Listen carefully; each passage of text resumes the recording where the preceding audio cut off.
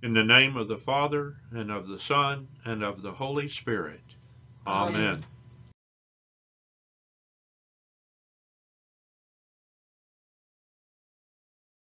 When I survey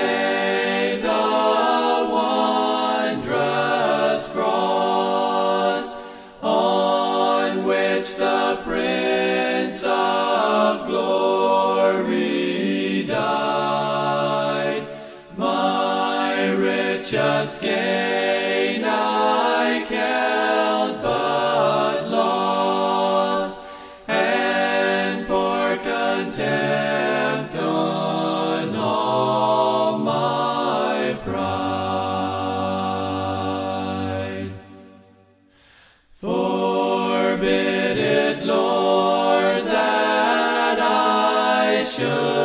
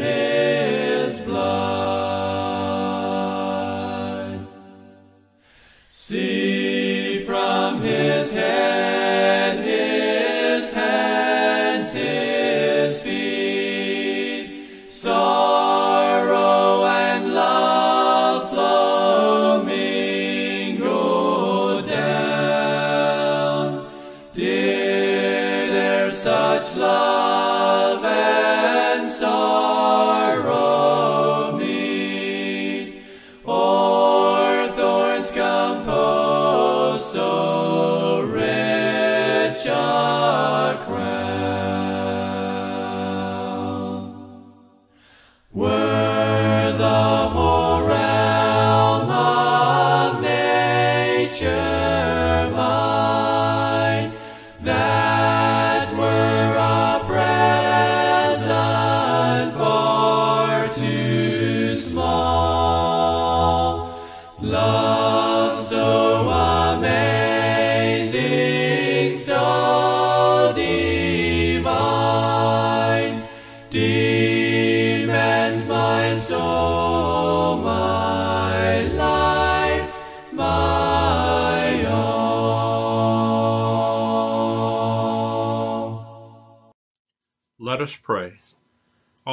God, look with loving mercy on your family, for whom our Lord Jesus Christ was willing to be betrayed, to be given over to the hands of sinners, and to suffer death on the cross, who now lives and reigns with you and the Holy Spirit, one God, forever and ever. Amen.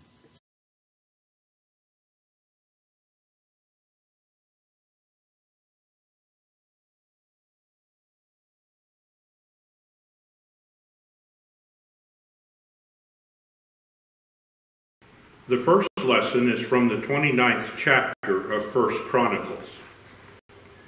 Therefore David blessed the Lord in the presence of all the assembly. And David said, Blessed art thou, O Lord, the God of Israel our Father, forever and ever. Thine, O Lord, is the greatness, and the power, and the glory, and the victory, and the majesty. For all that is in the heavens and in the earth is thine. Thine is the kingdom, O Lord, and thou art exalted as head above all. Both riches and honor come from thee, and thou rulest over all.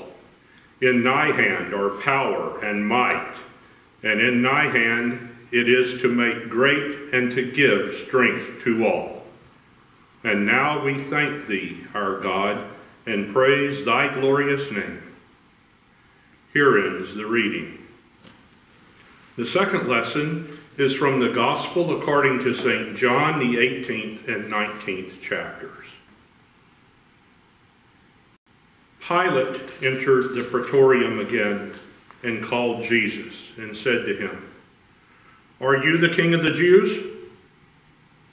Jesus answered, Do you say this of your own accord, or did others say it to you about me? Pilate answered, Am I a Jew? Your own nation and the chief priests have handed you over to me. What have you done? Jesus answered, My kingship is not of this world. If my kingship were of this world, my servants would fight, that I might not be handed over to the Jews. But my kingship is not from the world. Pilate said to him, So you are a king? Jesus answered, You say that I am a king. For this I was born, and for this I have come into the world to bear witness to the truth. Everyone who is of the truth hears my voice. Pilate said to him, What is truth? Then Pilate took Jesus and scourged him. And the soldiers plaited a crown of thorns and put it on his head and arrayed him in a purple robe. They came up to him saying, Hail, King of the Jews! and struck him with their hands. After he had said this, he went out to the Jews again and told them, I find no crime in him. Upon this, Pilate sought to release him. But the Jews cried out, If you release this man, you are not Caesar's friend. Everyone who makes himself a king sets himself against Caesar. When Pilate heard these words, he brought Jesus out and sat down on the judgment seat at a place called the pavement, and in Hebrew, Gabbatha. Now it was the day of preparation of the Passover. It was about the sixth hour. He said to the Jews, Behold, your king. They cried out, Away with him, away with him, crucify him. Pilate said to them, Shall I crucify your king? The chief priests answered, We have no king but Caesar. Then he handed him over to be crucified. So they took Jesus, and he went out, bearing his own cross, to the place called the place of a skull, which is called in Hebrew Golgotha. There they crucified him, and with him two others, one on either side, and Jesus between them. Pilate also wrote a title and put it on the cross. It read, Jesus of Nazareth, the King of the Jews. Many of the Jews read this title, for the place where Jesus was crucified was near the city, and it was written in Hebrew, in Latin, and in Greek. The chief priest of the Jews then said to Pilate, Do not write, the King of the Jews, but this man said, I am the king of the Jews. Pilate answered, Why not What I have written, I have written. Here ends the reading. Grace be unto you and peace from God our Father and our Lord and Savior Jesus, who is the Christ. Amen. We continue our Lenten discipline review of the Lord's Prayer as we look at the, the doxology to the Lord's Prayer. For thine is the kingdom and the power and the glory forever and ever. Amen. When Jesus taught his disciples in Matthew, the prayer ended with the seventh petition, but deliver us from evil. In the Roman Catholic denomination, the congregation usually stops the prayer with that petition.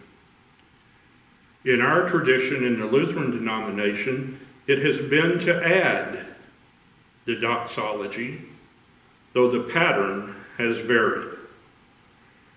As I was growing up and the service book and hymnal, the one we call the Red Book, was the main hymnal, in my home congregation in the service of Holy Communion, we sang the doxology to the Lord's Prayer rather than say it.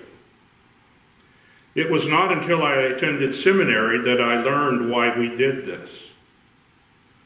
The doxology to the Lord's Prayer For thine is the kingdom and the power and the glory forever and ever. Amen, was actually added as a response to the Lord's Prayer by the ancient church.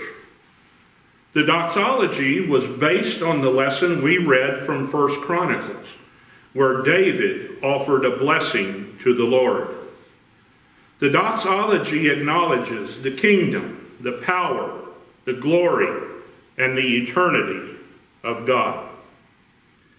Each of these is fulfilled through the life, death, and resurrection of Jesus. This doxology reflects the completion of God's plan of salvation through Jesus' passion, which is the focus of Holy Week, especially on this day of Good Friday. First, the doxology says, Thine is the kingdom. This acclamation is particularly appropriate for Good Friday because Jesus' crucifixion is actually his coronation and installment on his eternal throne and the beginning of his reign as Lord and Savior.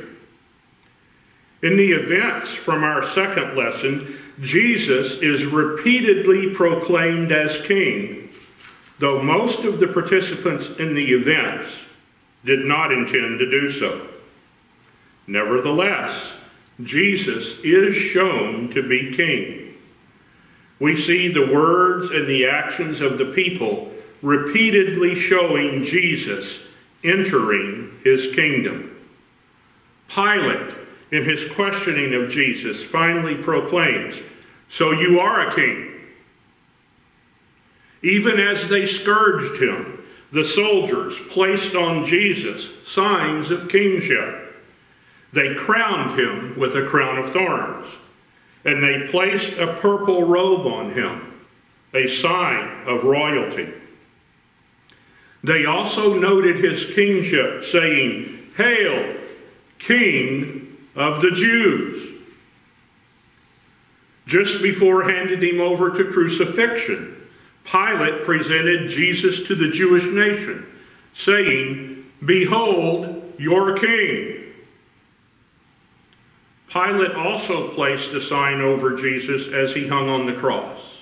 It said, the King of the Jews. And it was written in Hebrew and Latin and Greek so that all could read it. Once again, Jesus was acknowledged as king. Though they meant it as an insult and derisively, these actually proclaimed the truth that Jesus was a king. Not an earthly king, but king of the kingdom of God. Jesus wore a crown and a kingly robe. Jesus ascended his throne, the cross. He was proclaimed in truth to the world as king. And so, in truth, we proclaim, Thine is the kingdom. Jesus on the cross, though seemingly without power, is actually the most powerful in all of human history. While it appears Jesus was powerless on the cross, he was actually in control, fulfilling all scripture, and was enthroned as eternal king of heaven and earth. When Jesus cried out from the cross just before dying, It is finished! His was not a cry of weakness or surrender, but a confession of strength that he had accomplished the fulfillment of Scripture and had entered his kingship. I remember one of my seminary professors teaching us how some Jewish teachers describe death as the ultimate form of weakness. They explained that a dead person was so weak they could not even open their eyes or take a breath. While it appears he was powerless in death, we confess in the Creed that when he died, Jesus descended to the dead. 1 Peter 3 tells us Jesus there proclaimed that his victory over sin and death was accomplished.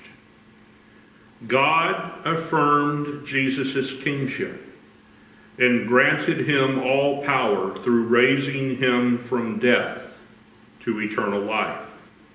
Jesus was anything but powerless. He was gifted the power of eternal life and lordship. And so, in truth, we proclaim, Thine is the power.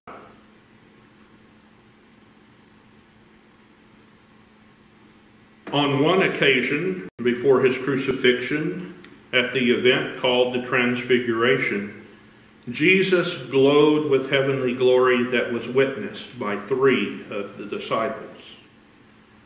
Jesus had shown glimpses of this glory in his ministry through his teaching, healing, casting out of demons, raising the dead, and performing miracles.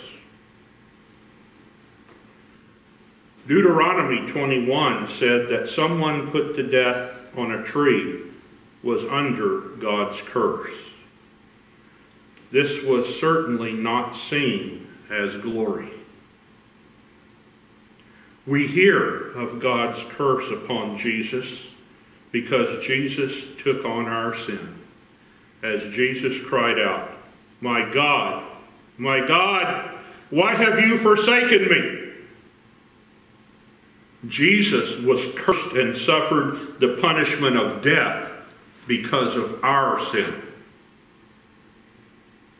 But God raised Jesus in glory, affirming Jesus was the Son of God. In his resurrected life, Jesus was not limited by time or space. On many occasions, we are told Jesus appeared to people after his resurrection and also vanished from their sight. This was the beginning of the manifestation of the glory of God that Jesus had as the resurrected and eternal Son of God. We confess that Jesus entered into his full glory through his ascension into heaven. In the Creed, we confess that Jesus ascended into heaven and is seated at the right hand of the Father. We also confess that Jesus will come again in glory to judge the living and the dead. And so in truth we proclaim, Thine is the glory. Jesus was raised and ascended to live and rule eternally. He alone is King for all eternity. We confess in the Creed, and his kingdom will have no end. And so, in truth, we proclaim forever and ever. The doxology to the Lord's Prayer ends with what is and should be an exclamation. Amen. Luther's explanation to the doxology tells us Amen means yes, it shall be so. Luther continues to tell us to pray the Lord's Prayer with boldness, assured that God hears our prayer through these petitions. We say Amen because we are certain that such petitions are pleasing to our Father in heaven and are heard by him. For he himself has commanded us to pray in this way and has promised to hear us, as Luther wrote in his. This is why we should strongly and confidently say, Amen.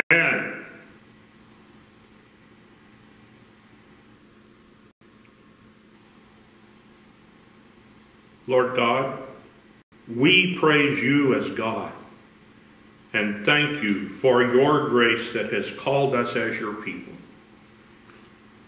Most holy God, thine is the kingdom and the power and the glory forever and ever.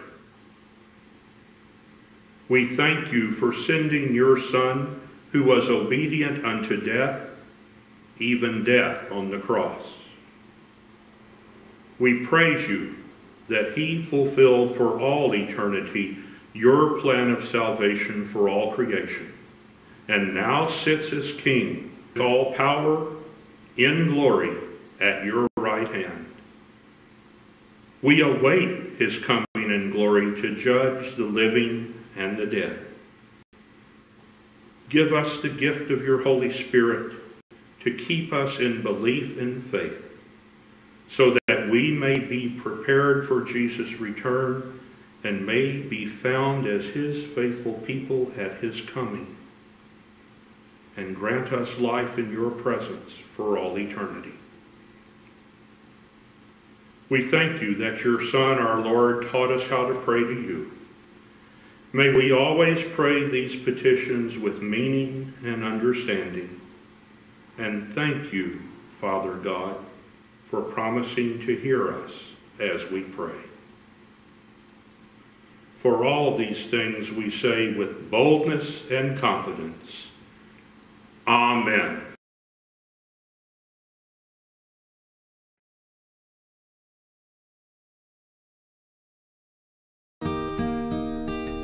Calvary's mournful mountain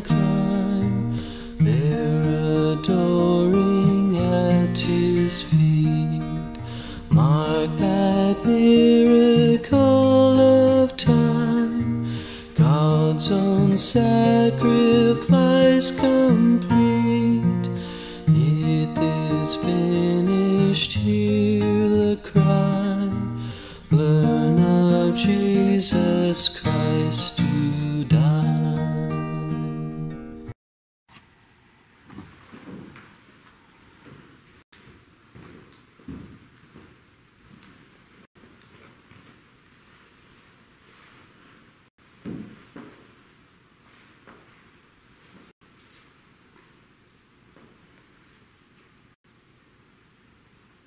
Pray, brothers and sisters, for the Holy Church of God throughout the world, that God the Almighty Father guide it and gather it together, so that we may worship Him in peace and tranquility.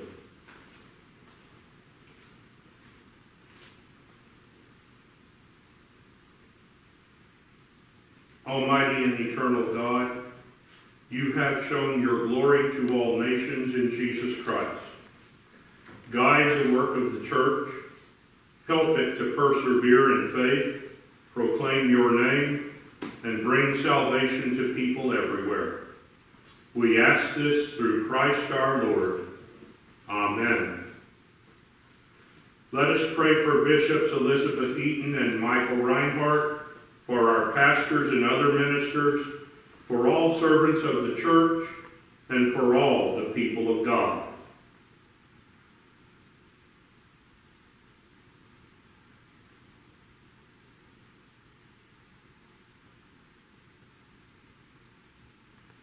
Almighty and eternal God, your Spirit guides the church and makes it holy. Strengthen and uphold our pastors and our leaders. Keep them in health and safety for the good of the church, and help each of us to do faithfully the work to which you have called us. We ask this through Christ our Lord. Amen. Let us pray for those preparing for baptism, that God make them responsive to his love and give them new life in Jesus Christ.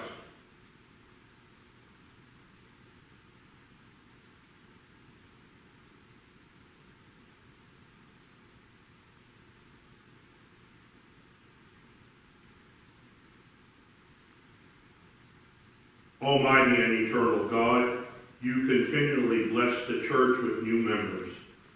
Increase the faith and understanding of those preparing for baptism.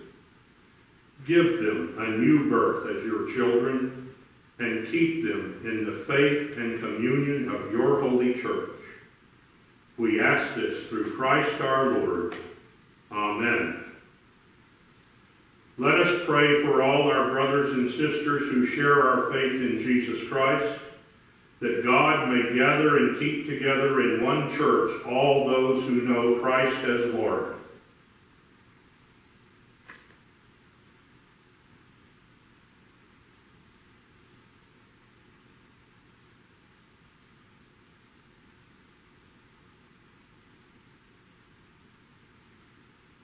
Almighty and eternal God, you give your church its unity.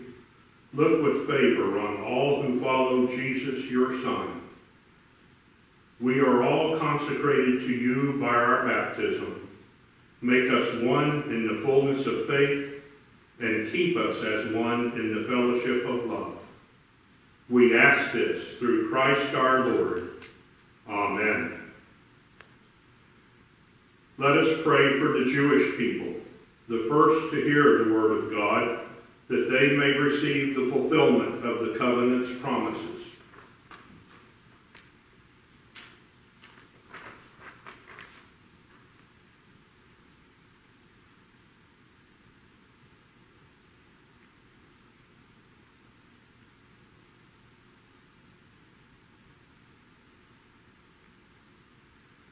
Almighty and eternal God, long ago you promises to Abraham and his posterity. Hear the prayers of your church that the people you first made your own may arrive with us at the fullness of redemption. We ask this through Christ our Lord. Amen. Let us pray for those who do not believe in Christ that the light of the Holy Spirit may show them the way of salvation.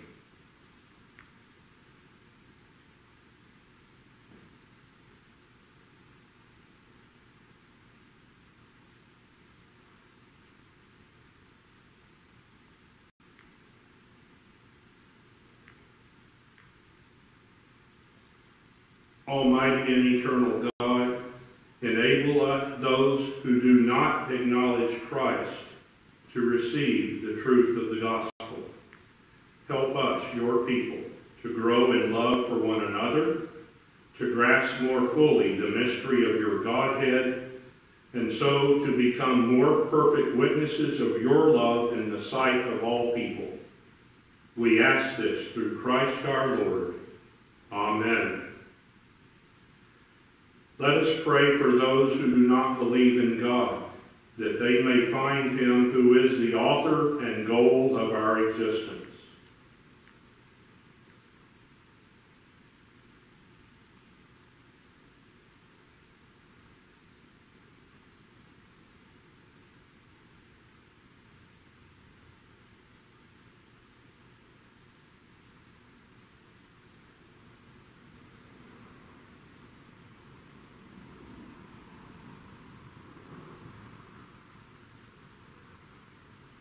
Almighty and eternal God, you created humanity so that all might long to know you and have peace in you.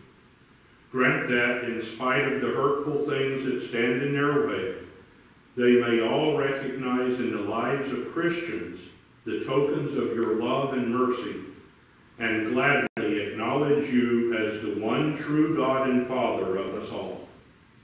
We ask this through Christ our Lord. Amen. Let us pray for those who serve in public office, that God may guide their minds and hearts, so that all of us may live in true peace and freedom.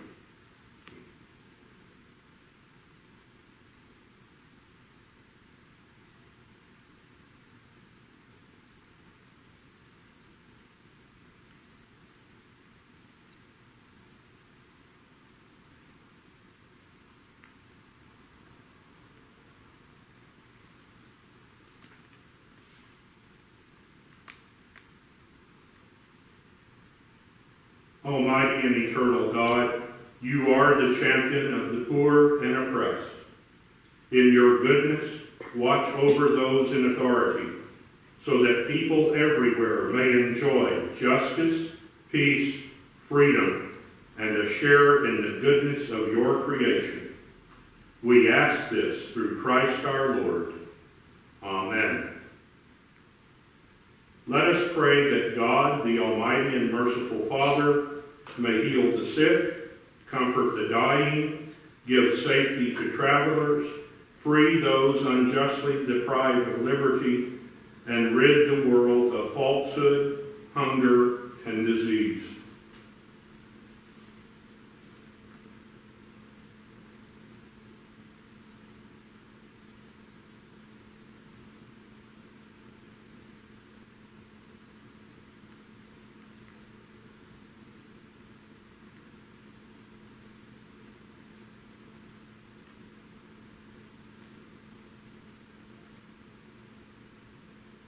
Almighty and eternal God, you give strength to the weary and new courage to those who have lost heart. Hear the prayers of all who call on you in any trouble, that they may have the joy of receiving your help in their need. We ask this through Christ our Lord. Amen. Finally, let us pray for all those things for which our Lord would have us ask.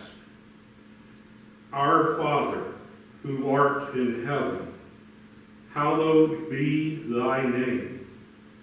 Thy kingdom come. Thy will be done on earth as it is in heaven. Give us this day our daily bread, and forgive us our trespasses as we forgive those who trespass against us and lead us not into temptation, but deliver us from evil.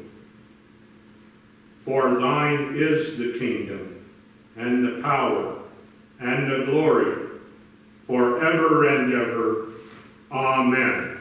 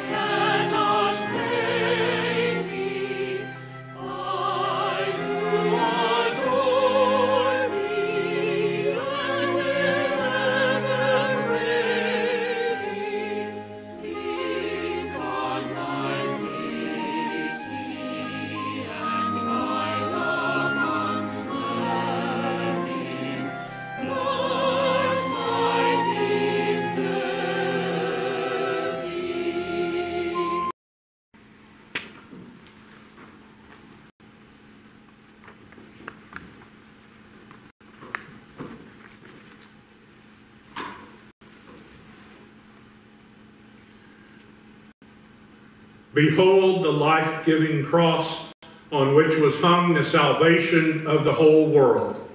O come, let us worship him.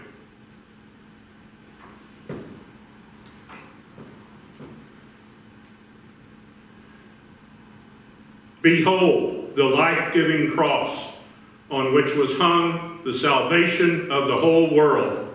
Come, let us worship him.